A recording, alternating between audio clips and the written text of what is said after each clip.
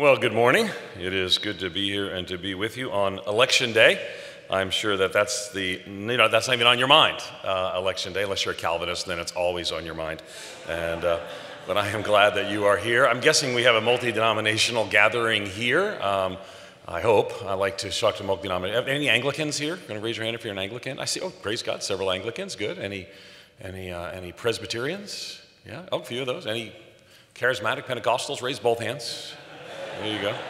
Used to that. I appreciate that. Baptists? Oh, yeah. Wow. I, have heard of them. Um, okay, well, good. And, and, anyone in a cult or a sect that they'd like to share? No. Um, well, it's good to be here, and I know I missed a lot of you, but we are going to talk about uh, Mr. Graham. And by the way, you'll notice we people use different, some people call him Billy Graham, some people call Dr. Graham, but inside sort of the Graham organization, they use Mr. Graham, and so we sort of reflect that at the Billy Graham Center. But let me tell you a little bit about who I am not before we start to talk about some things about Mr. Graham. Uh, I'm a missiologist and a pastor. My PhD is in missiology, so I I, am uh, not an historian of Billy Graham. Uh, if anything, I, am happy to tell you about how Boniface cut down the sacred oak of Thor in the evangelization of the Frisians, and later were martyred by the Frisians. Um, so that's my field. And we, if you want to talk about Willingen and the majority and minority report there, I can talk about conciliar missions all day. Uh, but for me, um, I'm not a Billy Graham historian, but I want to tell you something about a story, um, carefully avoiding some of the topics of others, because you have some of the world's leading Billy Graham scholars actually here right now in this room. This speaking here kind of reminds me a little bit about the voice in reverse. So if I say something wrong, I know Bill Martin can hit his buzzer and turn around and I'm out. And so I don't want to I don't want to mess anything up. Also, this is chapel for uh, Truett, and I want to make sure that we are a bit more chapel-esque in the presentation. So it's not just simply, uh, not something wrong with this, but not just me simply reading a paper, but trying to draw some implications. I'm not going to preach through a text. I normally do that. I'm the uh, interim preacher right now, interim teaching pastor at a church in Chicago called the Moody Church. And so I, I, preach there each and every week. And it does remind me that one of the passions of my life that you will come through in what we talk about is the passion of evangelism. Um, and I'll talk about that today and tie that into our conversation today. You see, I work every week. Every day I sit in an office at the Billy Graham Center. I'm in the Wilson Suite, which will mean something to some of you. I go by Barrows Auditorium to get to the Wilson Suite and I ask my staff during our staff meetings, who have you shared the gospel with this week? And then I go preach every Sunday at Moody Church in downtown Chicago, which is named also after an evangelist. And we ask one another, how have we shared the gospel this week? Here's why. Uh, in the both of the places I work, we should either change our name or change our ways and be more engaged intentionally in evangelism. You will see that here. Furthermore, my role is not to bring you a critical historical look. Others will do that, and I think that's certainly appropriate. But on this, uh, Mr. Graham's 100th birthday is tomorrow. Uh, we'll actually celebrate that also at the Billy Graham Center, which is why I'm today, and regrettably won't be here tomorrow. I would love to be here. But, uh, but we have our own celebration there for his 100th birthday as well. So, enough, be, enough being said about that. Let me tell you a little bit of the journey, how I kind of connected here, and then we'll spend most of the time focusing on Mr. Graham. Uh, when I first took this job, I got this card here. Um, and it's, it's a secret card. It actually has um, a series of numbers and code words on it. It's very strange. And they told me I needed to have this on me at all times. And uh, because when some world shaping event happened, presidents would change their schedules, uh, news networks would all go live, that I would have advance notice if I used this card and I followed the protocol.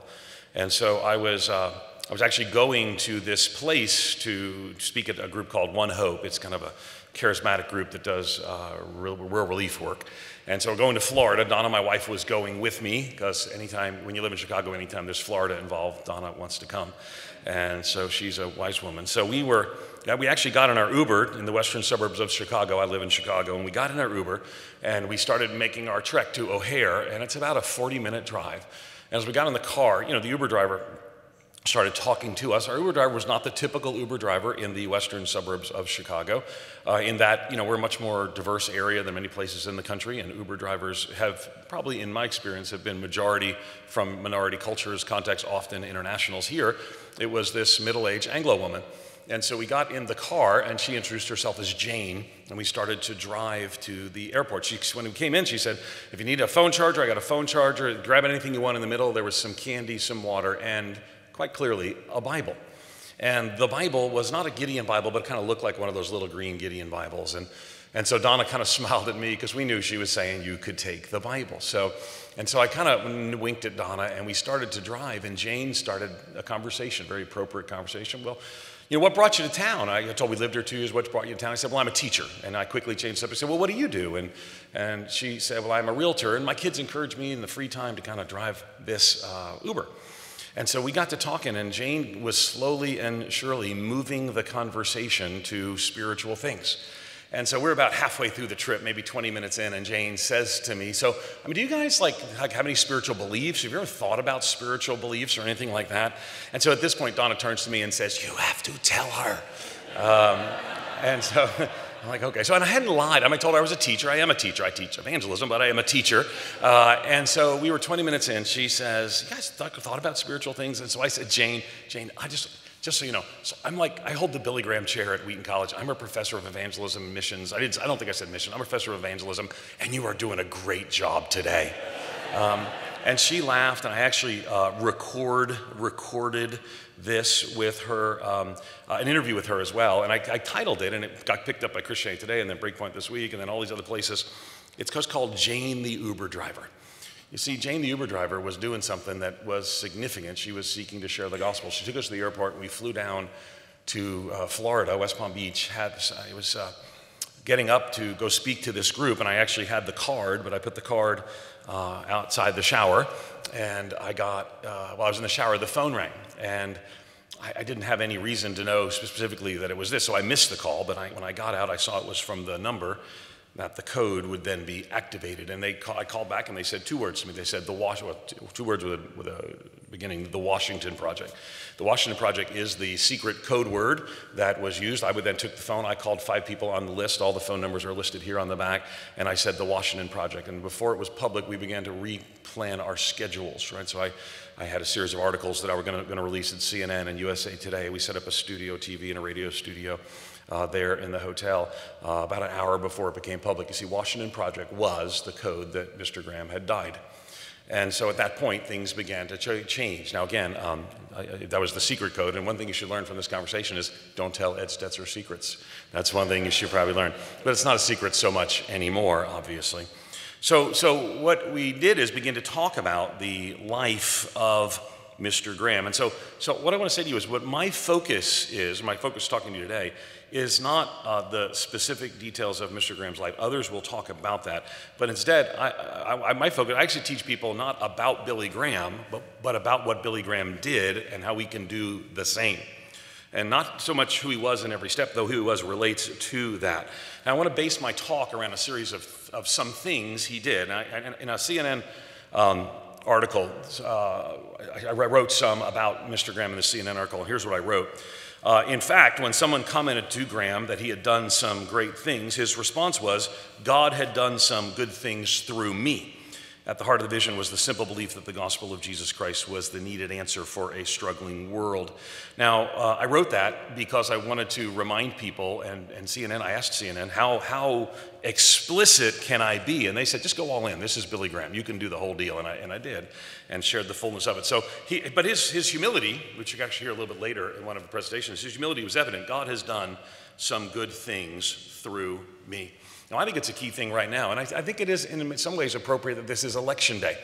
Uh, it's interesting because some of the things Mr. Graham did was to speak up on issues of his day. We're aware of when he took down the ropes between the segregated crusade. Uh, we're also aware that he took sometimes controversial stands, but that was not the driving force of his ministry. We'll address that, but it was certainly part of his ministry. And on election day, it does remind us that I, for one, wish for an evangelicalism that looked a little bit more like Billy Graham today and a little less like some of the more strident verses that are out, voices that are out there. So let's take a look at some things. Let's start with some background, right? Billy Graham said, said, said uh, God did some things, but let's take at some background. Now, for some of you, uh, Billy Graham is a new name. Now, we, you know, we have the Billy Graham Center on the campus of our school, and I will tell you the most common question people ask is, who is Billy Graham when the students come? 18 uh, year olds do not know who uh, Billy Graham is, and we often ask them to de enroll and go to another school if they don't. Um, we don't send them to Baylor because you would reject them as well. So, but, but to not know, but it's, it's just a reality. And partly because people don't realize how old Billy Graham was. Now, I know 100 seems like an old number. It is an old number. But you know, Billy Graham, it was over 70 years ago that Billy Graham was a student at Wheaton College. It was over 70 years ago that Ruth Bell Graham lived in the, the same dorm as my daughter, who's a student at Wheaton College. She lived in the same room that she lived in. I told her, that's fine, but you're not allowed to date anybody who's going into the ministry. That's kind of a family rule. uh, just for her benefit and the good of all. Um, but, but it's been a long, long time. So Mr. Graham hasn't been engaged in widely public ministry since 2005. And so when you see, I was at the, I was at the house last year, and uh, it had been uh, in Montreat, it had been uh, years and years and years since anyone had seen him publicly, maybe an occasional picture of somebody coming in. Um, but what about him? We grew up in a dairy farm in North Carolina. You'll know if you go to the Billy Graham Library, it's a little confusing just the geography here. So the Billy Graham Museum is actually at Wheaton College. The Billy Graham Library is actually in Charlotte, North Carolina. Now, the library actually has no books, so it's a little confusing. So, uh, and we're, at our place, we have books, but they have much more museum space than we have. So it's just, it has to do with the order in which they were built. And they are two separate, distinct organizations. So I don't work for the Billy Graham Evangelistic Association. I work for the trustees of Wheaton College and through a subboard we have for the Billy Graham Center. But uh, Graham was known early on, spent time reading uh, books as a young boy, go up into the hayloft to do that. He came, he came to Christ at 16, and it's interesting because if you go to the Billy Graham Library, that's the one in Charlotte, they actually have the little Bible where he wrote his commitment to Christ, which is interesting because he wrote, he rededicated his life on that day. And so it's interesting. He didn't say he committed, he says he rededicated his life that day. And it was asked at one point what that meant. Well, he grew up in an ARP, Associated Reformed Presbyterian home, that where his parents would have uh, baptized him, and seeing that as an entrance into a covenant that he later would need to engage. And when I listened to him preach his sermons at Buffalo, New York, where I was a church planter in 1988, he would get up and say, You can trust Christ or renew your confirmation vows, which was a controversial thing for him to say because it gave space and place for people who might not be in the evangelical tradition, Catholics in particular, to come. But that's what Buffalo actually was, remarkably Catholic. He attended something called the Florida Bible Institute. It's now called Trinity College of Florida from 37 to 40 and studied scripture. It was unaccredited. I'm going to explain why that's important in just a minute. It's accredited now, it's a fine school now. Uh, he married uh, Ruth Bell in Montreat, North Carolina on August 13th, 1943. And it's interesting when you look at the lessons at some of these, uh, some things, some background, some good things. Uh, you know, God had a plan for his life and intervened at times for that, which kind of leads to number two, um, some benefactors. He had, he had, he had, he had some, we him some background. He had some benefactors. And this is a key thing for some of the great leaders in ministry of our day is somebody supports what God has called them to do, and in some ways to do it together.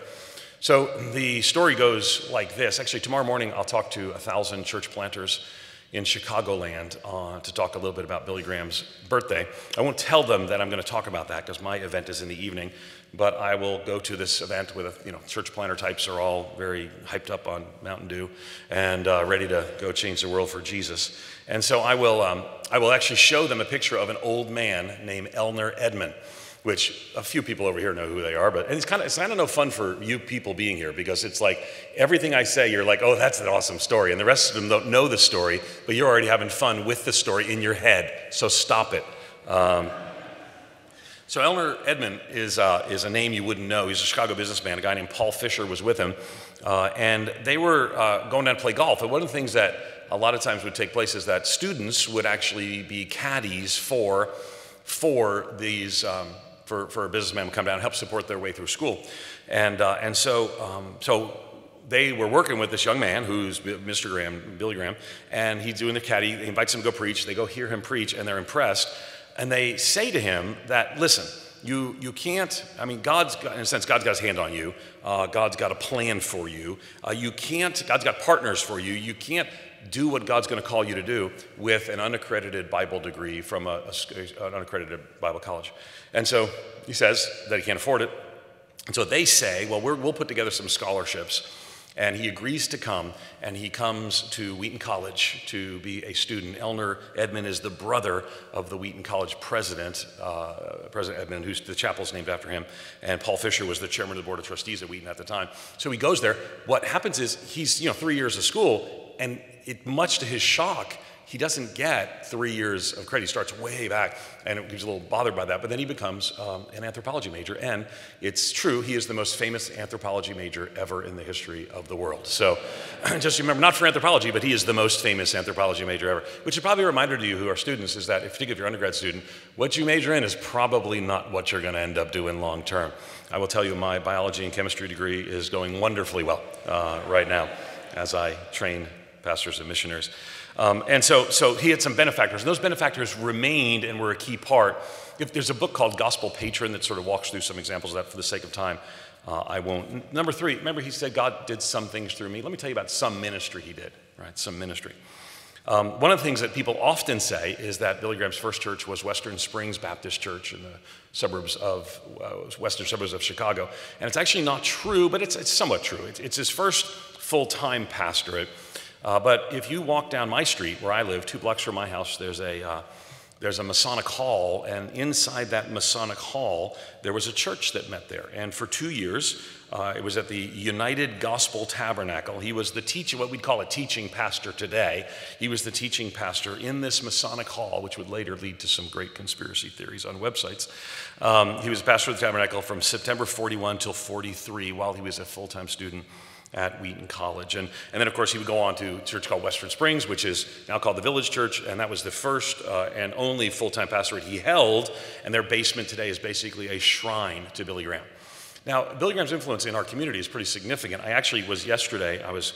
I knew your chapel was too fancy to have a projection. I know there's an option, but it looks too, too fancy. I preached at, uh, I preached at uh, uh, Beeson Divinity School last week, and they, they kind of, when I said, Do you have projection? They said, Ksh. In other words, no, you Philistine. Um, so, but I went to vote yesterday because I'm not here, and you can't see this, but if it was projection, can you see that? Uh, you'd actually see when you go through the DuPage County offices, which is where I voted yesterday, there's actually a whole section to Billy Graham. Now, DuPage County is not a distinctly more, I mean, Wheaton is a bit of an evangelical bubble, but DuPage County is not but he's the most famous person who ever lived in DuPage County. So the size of the impact is hard for some people to understand. Some things just quickly we'll go through. He was ordained as a Southern Baptist minister uh, by uh, the St. John's River Association at uh, Peniel Baptist Church. Uh, it's a little strange, we don't do it through associations as much anymore, but back then associations were much more involved, almost in a Presbyterian like way. He was the first staff member of uh, Youth for Christ uh, and eventually became its vice president. First, first staff member, became the president of Northwestern Schools. I do, I have a national radio program I just did from there Saturday and uh, still thriving. Northwestern, it's called uh, University at Northwestern now.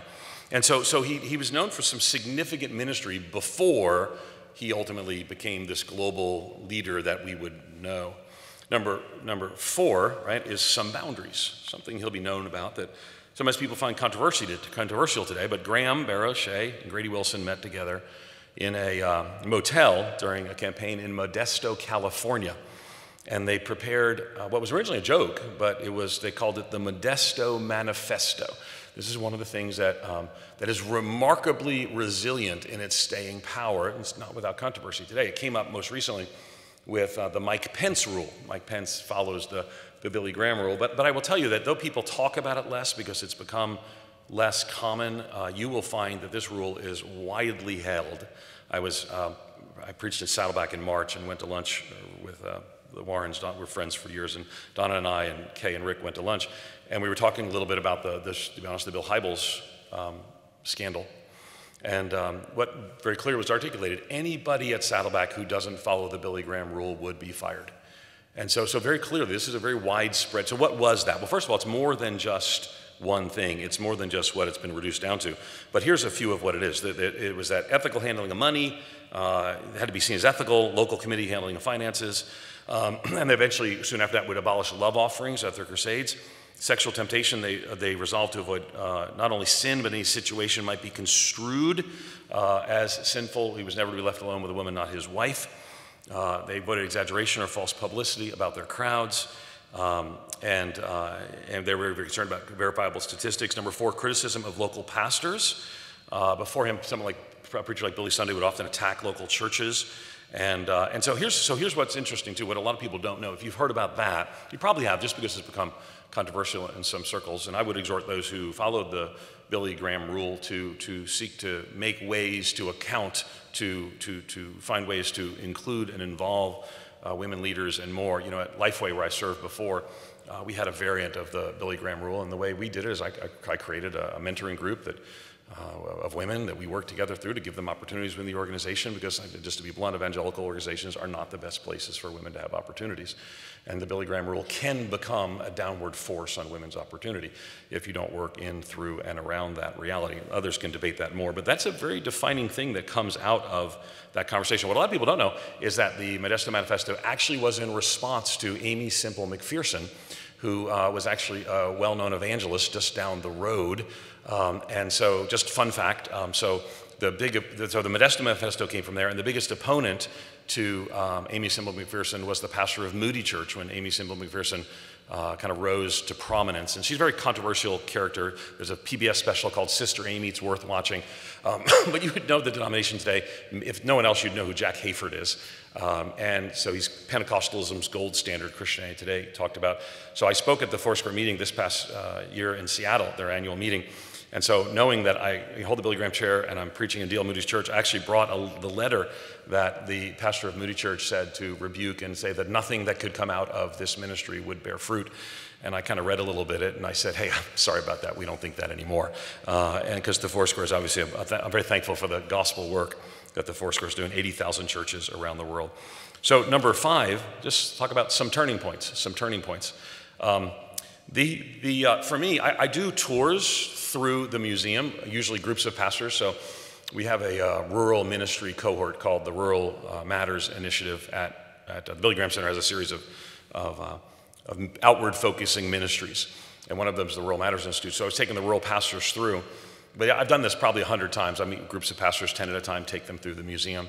Um, and if you come to Wheaton College, you know, come by and do that. We'd love to have you do that. Come to our Amplify conference this summer, and we do the tours there uh, as well. It's now the largest evangelism conference meeting annual in the country. So, um, but I take them through, and I sort of know um, now the things to point out. And I try to have a little fun and say, here's something you maybe didn't know. Here's something you, you know, because there's some things that are not sorry, in the history. Um, so, but there's one place that I always kind of get stopped and sometimes choked up a little, and I don't know why. Something eventually, after a while, you should stop being choked up by something. I told this, there's a well known preacher in my denomination named David Platt, and he cries every time he speaks. And I've never seen him preach without crying. And, uh, and so I told him, David, I mean, at some point you have to get over this. At some point you have to stop crying at every sermon. The difference, he genuinely weeps because he wants to see the nations hear the news of the gospel, which is why I love to listen to his heart and his passion. Um, so some things just can wreck you for, and so when I go here, this is so right, if you, you can't see, but I kind of come around the corner. Here's Western, Western Springs Baptist Church. That's the one church he pastored full time. And then it's Northwestern, the college here. And then it goes to um, Modesto Manifesto right there. And then next to it, it's not listed, but what happened after, soon after that was the Altoona Crusade campaign. The Altoona campaign was considered a flop, um, uh, their worst, most disappointing meeting. And uh, Grady Wilson called it the sorriest crusade we ever had. Billy was ready to give up the ministry after Altoona. Uh, now, now, there were also other important things that were going on there as well.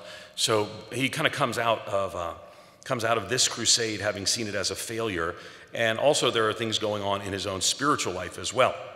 Uh, one of his good friends connected to Youth for Christ, named Templeton, had um, uh, one of the more famous incidents in his life. Had sort of walked away uh, for different levels and over time different levels, but just walked away from seeing the Bible the same way, and eventually walking away more and more agnosticism. And ultimately, Bill, uh, Lee Strobel did a beautiful interview with him just a couple of years ago that, that, uh, that was very, very moving. So he had a friend who sort of said, you know, Billy, don't believe all these things. And so then he comes, there's this one moment, it's kind of this, uh, this stump, they call it. So Charles Templeton walks away. Uh, he's kind of shook. I mean, Graham shook. He's he, this, this really, you know, bombed crusade, friends walking away from the faith. And then he tells the story. He, and Graham actually recounts this.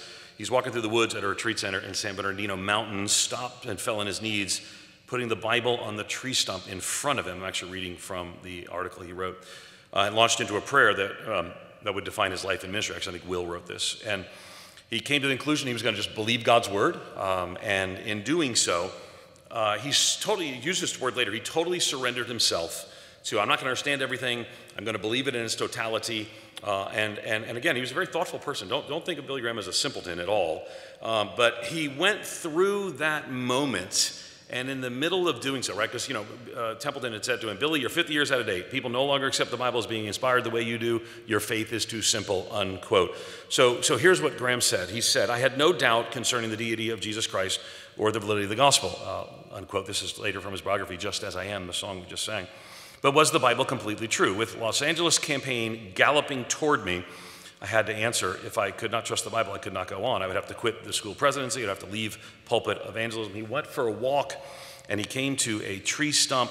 And after a period of prayer, he took his uh, Bible and he says this quote, I sensed the presence and power of God as I had not sensed it months. Not only my questions, not all my questions were answered, but I knew a spiritual battle in my soul had been fought and won.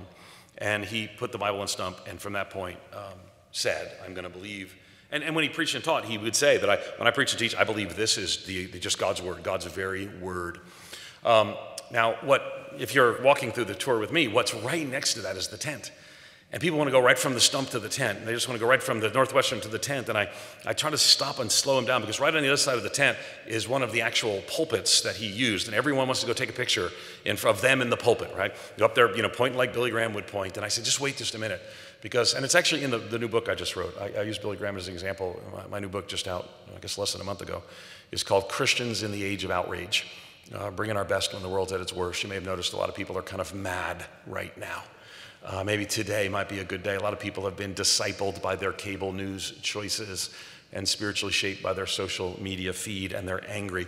And I use Graham as an example, but part of it was he came to the place where he was going to surrender himself to what God was doing. And so, so some of you went to the uh, funeral uh, at Charlotte, um, and and it was uh, if, if, you didn't know the funeral, you listened on the radio. I was the voice, I was the guy on the radio talking, because you can't listen to a funeral because everyone moves slowly with things. So we would sort of fill in the color commentary that was there, which is very weird. I've never done color commentary at anything, let alone a funeral. Uh, but my team put together a great list of things. So, you know, here's so and so, they're coming. But you might have watched it on television. Uh, some called it Mr. Graham's Last Crusade.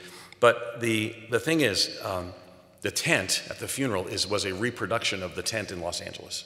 And the tent in Los Angeles changes everything, right? So what happens is, is he, he gets there, he gets to now, I mean, he's already had some national publicity, but now it sort of takes off from there, right? And, and uh, there's a William Randolph Hearst, kind of, and there's a famous phrase, Puff Graham, but basically already positive coverage, but now an even greater positive coverage, and soon his ministry takes off. But here's what I, what I say to, to pastors that I walk through this. I say, listen, a lot of people want to get to the tent, but they don't want to go through the stump. And for all of us, there comes a time of spiritual struggle. It might be that St. John of the Cross moment, that dark cloud of unknowing, that place in that time when we say, Dear Jesus, I don't get it all, I don't know it all, but to you I give it all. And then and subsequently, the Lord blesses, sometimes in powerful ways like a tent, and sometimes just in the continued faithfulness of long obedience in the same direction. To quote, of course, Eugene Peterson.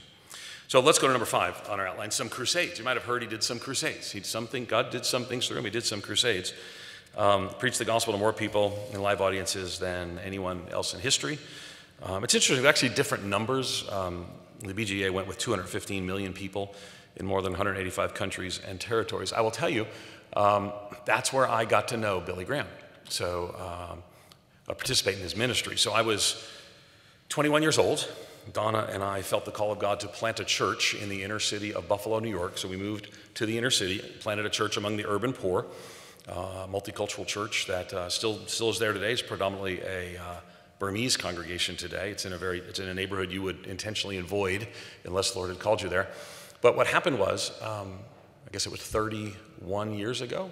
Um, we moved there, and uh, Billy Graham was having a crusade in Pilot Field, it was called at the time, in downtown Buffalo kind of a AAA ball stadium. Um, and so we tried to participate, and they said no. I said, "Can I participate?" They said, "No, no, you're not a you're not a church." Well, it's true. We were just two people. We were starting a church. We were a church plant. We're affiliated with our denomination, but I was turned down by the home mission board of my denomination to be a church planter. So I got a job. I was blowing insulation, doing contracting and renovation, built some homes over the course of my contractor career. Then I would go to seminary on the weekend, driving to Pittsburgh four hours each way, and then I would pastor this church called Calvary Christian Church. We started in the inner city of Buffalo among the urban poor. And so I went to them, and they said, You're not even a church yet. We weren't. We had just showed up, and and so I, I begged them. I kept coming back. I was like the, the begging the unjust judge. I said, Listen, you have no churches near, and this area where I was, about 30,000 people, no churches that are engaged in the Billy Graham Crusade with you. All I'm saying is don't throw those names away, give them to me. And finally, I kept coming to the meetings, and uh, there was no restraining order put on me. And so, um, so finally, I got the names, and we planted a church from that. So the first three families that were part of the church, that my first church plant actually came from there. Largest uh, crusade was in Seoul, but someone's doing a whole presentation on that, so I'm not going to jump in on that. But he also did a crusade in Wheaton, which a lot of people don't know about. He actually did a crusade literally in the parking lot and spread into the streets in and around Wheaton. Here's what he said. But as I stand here this morning looking toward Blanchard, which is kind of the castle in the middle of our campus, I think of the classes I took in that building 40 years ago, the times I walked up and down those stairs. I looked toward Williston to my right. And remember, I was there when I first met Ruth and immediately fell in love. It took her a year. The first date we had was Sunday before Christmas, 1940.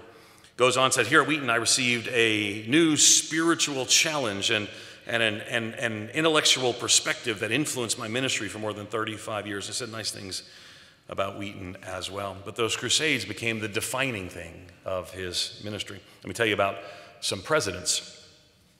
God did some things through him. Well, it wasn't until Billy Graham, Mr. Graham interacted with President Eisenhower that his role to the pastor of presidents kind of became best known.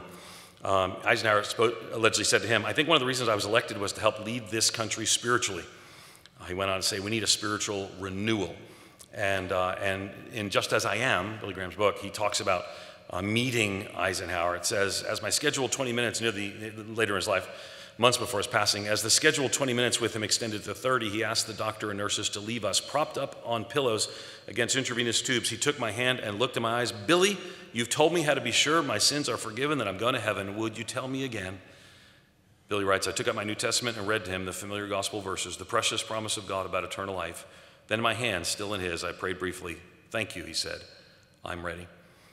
Now, he had close relationship with many U.S. presidents, but not all of them liked him. It's sometimes assumed that everybody uh, liked him. He was an invited guest at the inauguration of Eisenhower, participated in, in Johnson, Tr- Nixon, Reagan, George H.W. Bush, George W. Bush, and Bill Clinton. But Truman didn't like him so much, and others will share about that. He was close, a little, not as much contact with, with uh, Carter and Obama, but very strong and friendly with Johnson and Reagan, and a strong relationship with Nixon that actually uh, wasn't just in and around the presidency and later caused difficulty when tapes were released in a casual moment where Mr. Graham said some pretty horrible anti Semitic things. You may have seen some of those things. We actually, at the Billy Graham Center, we held some time of prayer for our Jewish friends and neighbors after the shooting, and we received significant pushback that we would pray for this from somebody, to use one Twitter handle uh, comment, who is a known anti Semite. One of the things that uh, Mr. Graham clearly did was apologize, and that apology was received by leaders of the Jewish community because of the work he had done for so long. Number eight, let's talk about some focus. Uh, he was deeply focused on gospel proclamation. Now, mind you, there were times when he deviated from that in ways that didn't make sense of his clear focus. But let me just start with what I think is the, tr- the true thing, and then we'll talk about the deviations from it. Um, you maybe have heard the, the phrase, um, people put it on Facebook or Twitter, uh, St. Francis of Assisi. It says, Preach the gospel at all times, if necessary, use words. Have you heard or seen that before? Yeah, yeah. There's two problems with it. Number one, he never said it, so there's that. Um, 100 years after he, was, he died, it was quoted to, uh, attributed to him. He remember the words of Abraham Lincoln don't believe all those quotes attributed to me on the internet. Uh, and, uh, and, so, but, and he wouldn't have said it, he was in a preaching order. But number two, it's really bad theology. Um, and ultimately, we've kind of fallen on a time, though, where people find themselves drawn to that. And Billy Graham would have said, no, stop. Proclamation of the gospel is essential, normative part of the life of the Christian and the life of the church. And I think that's really essential because right now we kind of live in a time where Christians love evangelism as long as somebody else is doing it. Um, many of you have uh, raised your hand, probably most of you here were Baptists, and some of you may know that I was the one of my roles, I was the statistician of the denomination um, for, uh, for about 10 years. And I, 10 years ago, I said 2007, I spoke at the Southern Baptist Convention, recognizing there's all different iterations of that in states and elsewhere. And I stood around and I said, This convention is losing its evangelistic passion. I said, Look around. I said, This is the only place. I said, Look around all the gray hair. This is the only place I feel, I go where I feel young and thin. And um, People laughed a little louder than that, but they, uh, then they realized, hey, but my passion has been to try to turn that around, uh, first in my denomination and now in evangelicalism as a whole. Now, what's interesting is, is he seemed to have this focus, and gospel proclamation is very clear. So as we, as you even go through the museum, uh, the Billy Graham section is like intentionally bookended, almost in an awkward way, with redundancies. As you walk in, it says, For God so loved the world. This is, uh, you, there's the history of evangelism up to Graham. So it goes all the way back to the first Bible printed in Algonquin. The first Bible printed in America is in the Algonquin language. And it goes to the first Great, Great Awakening, Second Great Awakening, goes to the Temperance Movement, goes to D.L. Moody, comes out to Billy Sunday, and then finally you see Billy Graham. But then it's this huge cross. It's this huge cross art, and it's got verses, and it's like, okay, stop. Don't think about Billy Graham as you go into the Billy Graham section. Think about Jesus. And the last thing you see is let our eyes fixed upon Jesus, the author and finisher of faith. Then you go into Billy Graham section. Then you go out the Billy, you go through the Billy Graham section, you go out the Billy Graham section, and it's a huge cross. And it's a painting of a huge cross. And not only in case you miss it, you then have to literally leave the Billy Graham Museum going through a door marked as a cross, within the distance, a cross with a verse explaining that it's a cross, in case you didn't get that it's a cross.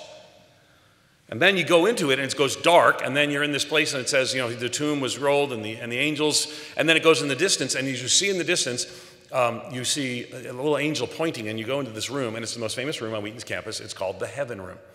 As you walk into the Heaven Room, the Hallelujah chorus is playing, as it will be in heaven. It's right there in Second Opinions, chapter 4, verse 11. And so I will tell you, um, some people find it hokey. Matter of fact, I would say a lot of young, uh, younger millennials find it hokey. Um, I've wept in the room with Filipino pastors who are doing their master's degree with me. And really, it's fascinating how people respond. I've wept in the room with an older lady who asked me to take her through alone as she had terminal cancer, and we just wept because she stood there, clouds around, glass, reflecting everything, hearing the words, Hallelujah. And so that was his focus. And it's a simple focus. And this is the criticism some would make of Mr. Graham, because we would, we would say the gospel is God, you know, you know, creation, fall, redemption, and restoration, right? I mean, we, we would see the big picture of the cosmic gospel. We would see the individual implications of that gospel. Graham had a singular focus that at times kept him to miss some things. For example, when all the articles came back when he came out when he died, I wrote an article that was prim- primarily a hagiography. That's, that was my job as the executive director of the Billy Graham Center.